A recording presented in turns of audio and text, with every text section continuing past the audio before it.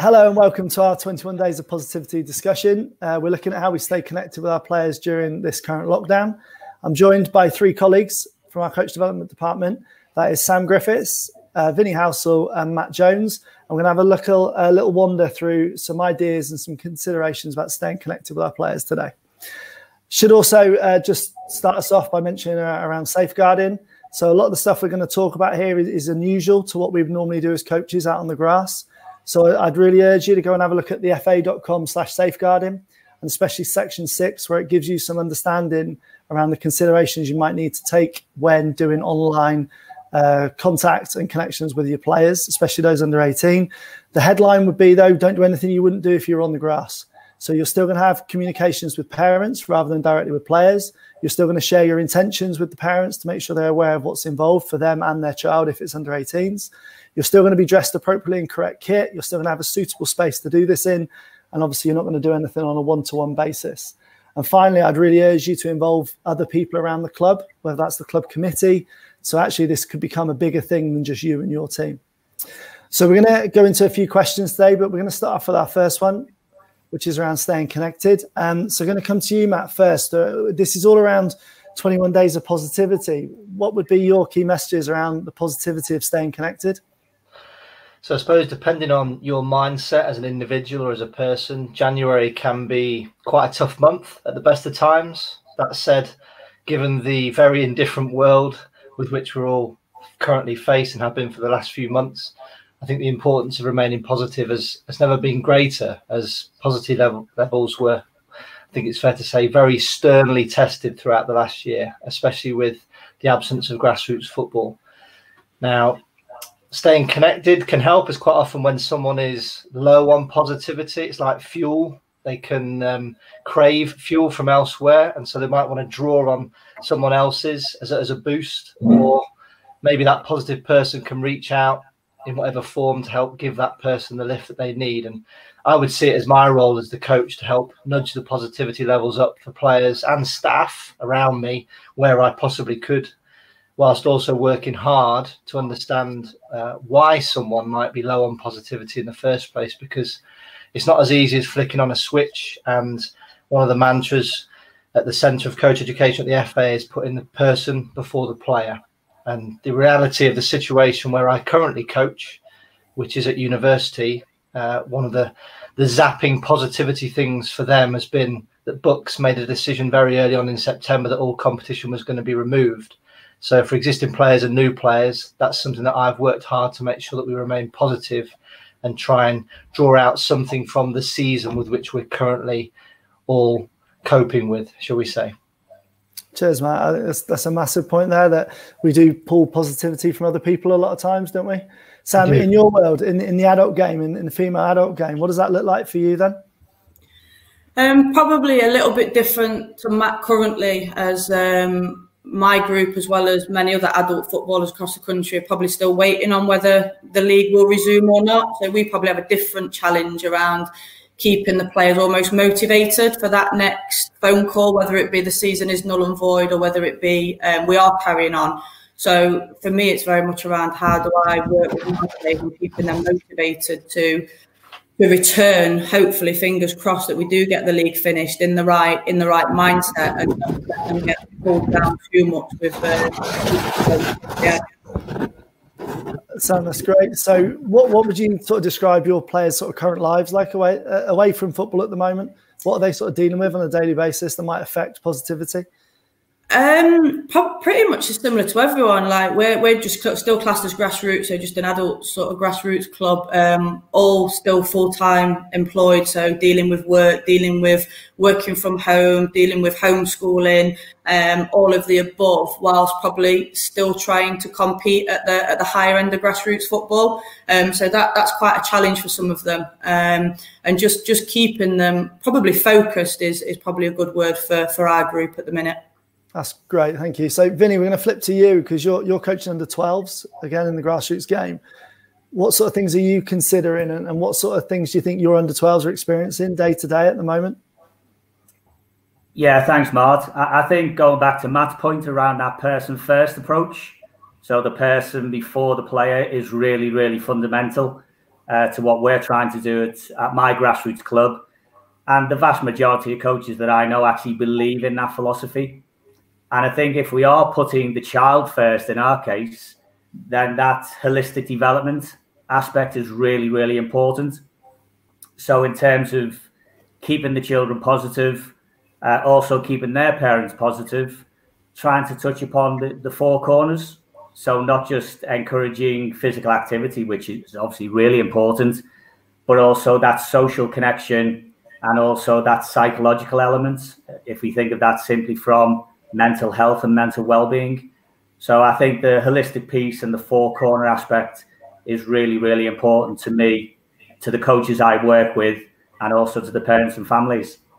Well, that's great, Vinny. We'll, we'll go into some bits further on when we look at actually this is an opportunity this time. We, we can do some things during this time that we might normally not be able to do because life gets in the way. So we'll come into some of those in a minute. Um, also keen to pick up on your point there around that, that needing to stay physical. That we know that a big part of health and well-being is staying active and, and regularly exercising. Sam, you've got a, a, bit of a way you're keeping your players on the move, haven't you? Yeah, so we're we're using um, the Strava app, um, which is is great for, for motivating the players. Um, it also helps us keep track on what what they are and, and kind of what what they aren't doing. Um, but it's it's also provided some opportunities for those to in, interact with each other and, and, give themselves challenges, whether it be a group challenge, a unit challenge. Um, they've actually came up with some of their own stuff, so that's been quite a nice, fun way to for them to engage between themselves. Um, at the same time, like I say, important thing for us is that they do stay physically fit and well conditioned for hopefully a return to the start of the season. I think that's really appropriate for the adult game. And I, I know of a coach uh, near me who's coaches under nines, and what they've done, they've worked out the mileage of if they were to play every game in the league, how far that would be. They've then put the kids into groups, and they're just asking them each couple of days, just put in how many miles you've walked, run, cycled, and they're having a race around the county to see who could get around all the league games first. So a far different way of doing it for kids than you would for adults, I suppose. Um, Vinny, I know you've been doing some stuff around giving the kids things they can be doing with a ball in the back garden uh, and down the park and involving parents as well. Can you give us some of those examples? Yeah, absolutely. And linking back into the, the four corner aspect that I mentioned earlier, our mantra at the moment is friendship, fun, and footy. And I think for me, if I was to put one at the forefront of that, it would be the fun element. So, of course, we can share with the youngsters lots of detail. They can search themselves on the internet around activities they can be doing. But if they can come up with some fun things, and that might be to do with identifying their favorite player and practicing a little bit of tekkers in the back garden.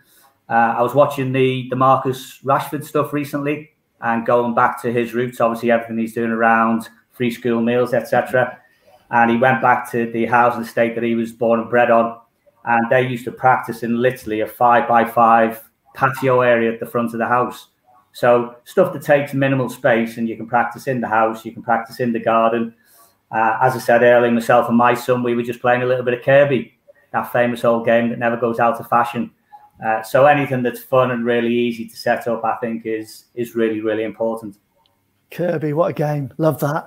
And uh, I've heard of another example. This is in lockdown one, but of a, a club who set up in their little parents group uh, a wonder goal of the week. So each kid was trying to score the most amazing goal they could, and they add it into the video, obviously safeguarding through parents rather than going direct.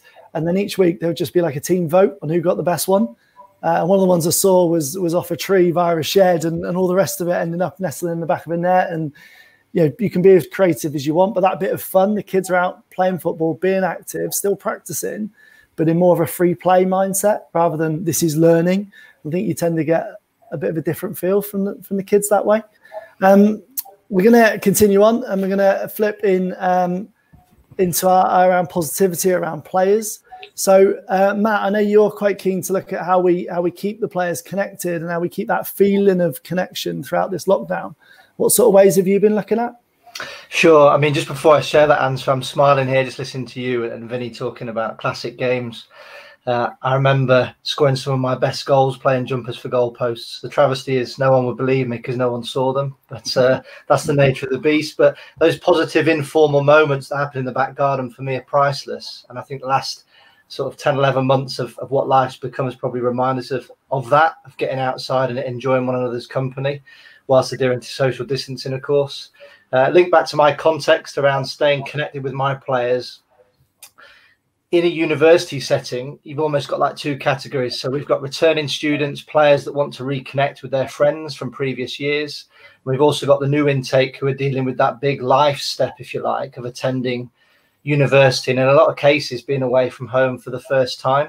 And we know that university has been in the in the news as, as one of the hardest hitted uh, institutions of how they've had to think and do differently just to survive and keep educating their students. So we as a club and as a society within the university took the approach of little and often check-ins rather than too formal. Um, and people can contribute at will or opt out if they don't mind, because again, we've got uh, different social dynamics with with newbies, but also returning players.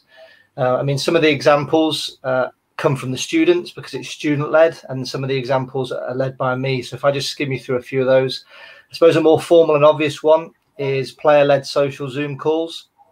Coaches are invited, don't get me wrong, but quite often I'll intentionally step back because I know that the social aspect of university sport per se is important and it's good to let the players connect themselves. Uh, other things that I've taken a lead on, uh, where we choose to use uh, an in-house social media platform, would be flashback of football photos or footage of seasons um, gone by, or coaching sessions uh, and clips of, of, bits and pieces that hopefully make returning players smile and reminisce, and also give new players an insight into what to expect when we do indeed return and attempt to salvage something out of what would be their first year of university sport and football. Uh, I'm partial to sharing inspirational posts on uh, of some description, whether it be football, sport, or just life related, anything from specific film or TV clips to montages with inspirational music um, or quotes to enhance particular stories. I've also shared a photo or a video of me playing um, a game with my kids in the garden, going back to what I was saying at the start of my answer. Um, so it might be me playing um, catch with one of my little boys or exercising. I mean, the other day I strapped ankle weights on and videoed myself running up uh, up and down a hill with my seven month baby boy in the pram. And what I did was I, I posted it on our social networking platform and said with the strap line, this is how I'm getting my steps in today. How are you getting yours in? And again, there's no obligation for them to respond. It's just to prod and pro them and say, get outside and get in the fresh air. And the final example I'll, I'll give is I entitled the post, What is your guilty pleasure song?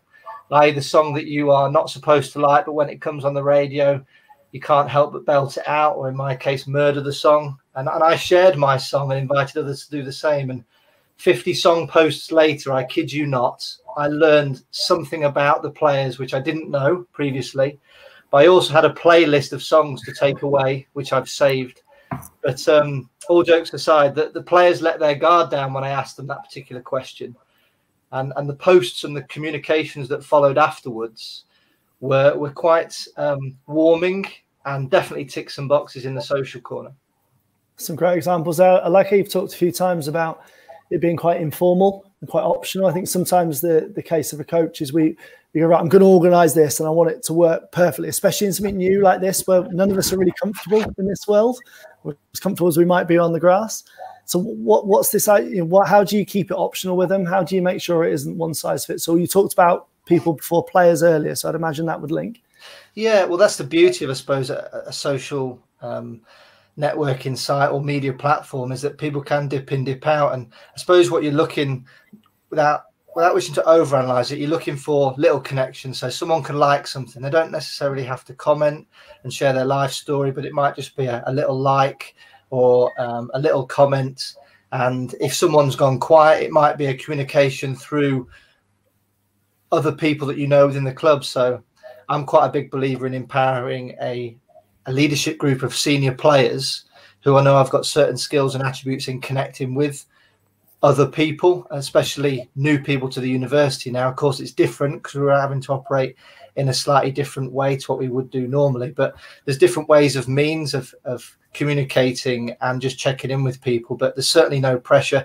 And going back to what you were saying before about the formal and informal, because they're having to take part in their formal education via the the media platform, the last thing they want to be doing is spending too much time interacting via the screen, and that's where social media really lends itself. That's a great point. You think, uh, yeah, the amount of screen time everybody's going going through the roof at the moment, isn't it? Maybe we could be a little clever and find other ways. Uh, Vinny, um, Matt talked around empowering there. Um, I, I, know you've been doing some stuff around ownership for your players, and actually you're having like a weekly Zoom call, but it's not really you leading it. How have you gone about that? Yeah, absolutely. There's a couple of links back to Matt stuff there. So the first of all, our sessions have only been going now for, for three weeks. Uh, hadn't tried them before during lockdown two, and certainly didn't try it during lockdown one when we were all getting used to the, the strange uh, world of a pandemic. Um, so yeah, psychological corner again, asking the youngsters to take part in a quiz. And the first week, I actually created the quiz. But in terms of learning about the youngsters as people, uh, the quiz was simply six questions, two to do with footy, two to do with us. I had to relate to either the coaches or the youngsters, some insight knowledge, if you like, that uh, they had, and then two general knowledge. Um, so actually, my son, who's 11, he created the first quiz, and then we simply passed the baton on and asked for volunteers, and it's been fantastic. We've had uh, two sessions since then and the youngsters just keep stepping up and want to create their own quiz, uh, which has been really engaging from their point of view. And of course, the questions that they're posing to each other are more relevant for their age group as well. So yeah, it's been really powerful that piece. Yeah, Vinny, you've also done some stuff using some game footage as well, or some some sort of good practice from players. How, how's that come about? How's that looked? And have the players found that? Yeah, thanks for that prompt, Mark, because we haven't really mentioned the tech tack corner, have we? Yeah. Um, and this has very much been about them watching just 30 seconds of footage um, and just volunteering some information. So we've been using the Teams platform and simply as the footage is rolling, then popping the hand up in the chat area and then a few comments, a few thoughts, a few observations, and a great opportunity going back to Matt's point that by doing it this way, really engaging the youngsters, a real chance to learn something about them as individuals. Uh, I've really enjoyed that. And I think that's my final uh, piece around any online connection. I take the point that we're all doing too much of it. But if you keep it to about 40, 45 minutes, keep it short and sharp, lots of different activities, then the engagement can go through the roof. And that's what I've experienced with my youngsters. Absolutely. It's a great point. Yeah, absolutely. Um, cautious that we, we have talked about positivity, loads around players, but but what about us? Because there might be times when we're we're struggling a little bit and a bit low on that that positive vibes because we're not getting that weekly buzz. How how does that look like for you, Matt? How do you how are you keeping connected in a way that allows you to stay positive around football? Well, I'm doing my best. I'll I'll be honest. I've been tested over the last sort of 10, 11 months, um, but I I'm a big believer in if if you cannot look after yourself, how can you help others to look after themselves? And this comes back to I've taken on the responsibility of being a coach. I work with other coaches and I work with adult players. Um, but whether we work with adults or children, I always think, what am I modeling? And I have to work hard at staying positive. Um, but that's not to say that I, am not afraid to let my guard down. And personally, conversation for me is is is, is a powerful thing and I welcome dialogue with players, fellow coaches. So whether it's a, a classic conversation on the phone or a walk and talk um, or a chat via digital means, I find it stimulates my mind and thought process just to have that game of verbal tennis and healthy discussion. Now, these don't have to be deep and meaningful conversations. They can be conversations about the little things or specific topics or questions. Something just to maybe air a view or, or bounce an opinion uh, especially in the world of football coaching. We know there's plenty of opinions flying around, and that's what keeps it interesting.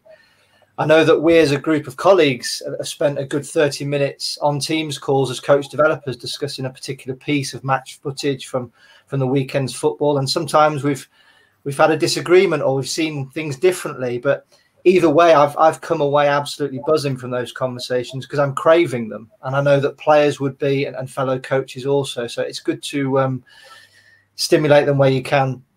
Now, if I do strike up a rapport with someone and we talk about life as well as football, it does reassure me somewhat when I listen to how the other person's feeling, especially in the current climate, because despite trying to be a glasses half full person, I still have dips in my mood and, and mentality as well as my own insecurities, which sometimes surface, especially as a football coach. I'm, I'm forever questioning and doubting myself, but hopefully for the right reasons. And and sharing these thoughts and feelings can helped me to deal with that, especially in a world where quite often you do feel isolated, even though I've got my, my family around me. So I suppose a top tip I would be saying to anybody now as a coach is if pre-pandemic you were always wanting a mentor or a critical friend, well, there's no better time now than to try and seek one out and pick up the phone and maybe have a conversation, start building a relationship with them. It doesn't always need to be that formal, does it? We, we just crave that. We crave that buzz that we're used to getting a couple of times a week. Yeah, uh, Sam, you've used it almost well again as an opportunity. You've been doing some one-to-one stuff with your players, haven't you? What, what's that look like, and how how has that sort of made you react? Has that been something that you've really enjoyed too? Yeah, I think this lockdown's probably been different from the first lockdown for, for us as a group of players, group of staff, me as an as an individual. Um, I've probably used this this lockdown to really challenge myself as a coach and probably expose myself a little bit. Um, in terms of getting some feedback from from the players. It's probably something that I've never really done, but I thought it was a good opportunity um, with not being able to obviously get on the pitch with them physically. Um, I think just going back to the point around the engaging the players online, one of one of the things that sort of made me realise when we talk about knowing our players was how do you engage with the players that socially struggle? So some of my players probably socially struggle with within the team and, and the group, then to put them online behind a computer and expect them to talk and interact that's probably been a challenge challenge for me um, so moving forward we're looking at doing some more um, isolated work with them in, in smaller groups online and just remembering that certain players might need an individual check-in versus this whole group positivity everybody's great because there might be that one or two in your group that aren't great. So putting them in that environment, they, they, they can really struggle. So I think it's just being mindful of understanding your players individually of what each might need, especially in the current climate that, that we're in. I, I, do think it's a lot easier on the grass when you can deal with players face to face. I think behind the screens a lot a lot harder. So coming up with just little things. So um, we've got a call tonight we're doing some one-to-one stuff and we've asked each player to bring a value to to their group that they've been put in. So they're only going to work in small groups but they're going to tell the three players in their group what they really like about them as a player as a person whatever it might be. Um, so just try to move away from from the football a little bit. But yeah in terms of myself i've exposed myself to that tonight as well to go what what, what i value about the players and i'm going to throw it in there and go what do i need to get better at as a coach? What do you need more from me um, but that's me as a coach knowing sort of where I am and the feedback that, that I want and that I can take and what I can do with that. So I suppose I've tried to use this lockdown as a as a challenge and to grow myself as, as a coach, I suppose, and done loads of reading as well. I've never read so much. I'm not a big reader, I've got to be honest, but I probably have read quite a bit in, in, in this lockdown. That, that bit around seeing this as an opportunity to develop yourself is huge. And how often do we actually step back as a coach and just do a bit of reflection or get some feedback? Because normally we're in this busy life of chasing our tail all the time. What a good chance to do that. And uh, Vinny, you're very similar to Sam around reading and keeping learning. You're even doing some stuff with some of the, the other coaches at the club. Is that right? Yeah, absolutely, Mart. I've long held the view as a former PE teacher that every day is a school day. There's always something to learn, and that's a message that I share with my uh, fellow grassroots coaches at uh, my local club. Um, and obviously, we've got some fantastic opportunities for learn uh, or to learn on demand at the moment, haven't we, through the FA? So, whether it be the FA YouTube channel, whether it be through the, the boot room, whether it be through the new online community. Uh, so, they're things that I really encourage every single coach to explore, as I do myself uh, finding stuff on there that I didn't know existed or that I just thought oh, that's a, a, great chance for for me to improve myself. Linking back to Sam's point, um, and then that one-to-one stuff, Sam, I, I think that's a fabulous point. You've talked about it in relation to working with players, um, but we've got some coaches at our club who really value that individualized support. And in fact, I'm working with a coach just this week on Thursday night.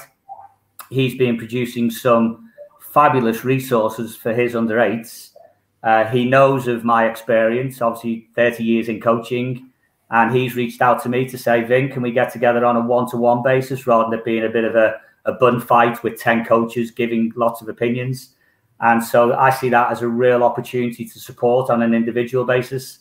And you know what? I will learn something as well from that. And that's where going back to every day is a school day.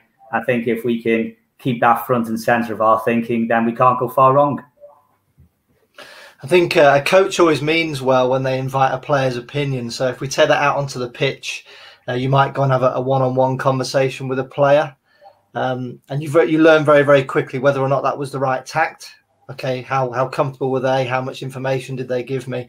That's so much harder to do over the medium of, of digital platform, as Sam's alluded to. And this is why I go back to the example that I gave around. I know that as a male coach working in the female game, working with some brand new players whom I've ever only ever spent one session with, because our season was very short lived at, at the start of September, October time.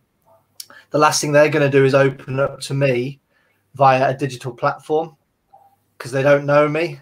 The fact that I'm a male as well might add an extra element to it. But what I could do was I could go to my leadership group of very trusted people and say, "Can you check in on so and so? Can you have a conversation with so and so?" Because I want all new members to feel connected and part of the club, even though our season is is somewhat very very unique, shall we say, looking at it positively. Absolutely. A unique time altogether. I hope uh, the last 20, 25 minutes or so has, has given you a shot of positivity, has given you some ideas that you might go away and have a go with your players. Uh, I would draw you back to the safeguarding information I spoke about at, at, the top. Please go and explore that before you dive in, would be my, my, top advice. I'm sure you've got some fantastic ideas as well around connecting with your players and spreading that positivity around your club. Uh, and but most of all, I hope you stay safe uh, and stay well, and, and we keep ensuring that our players stay in love with football even during this this odd time that we're in.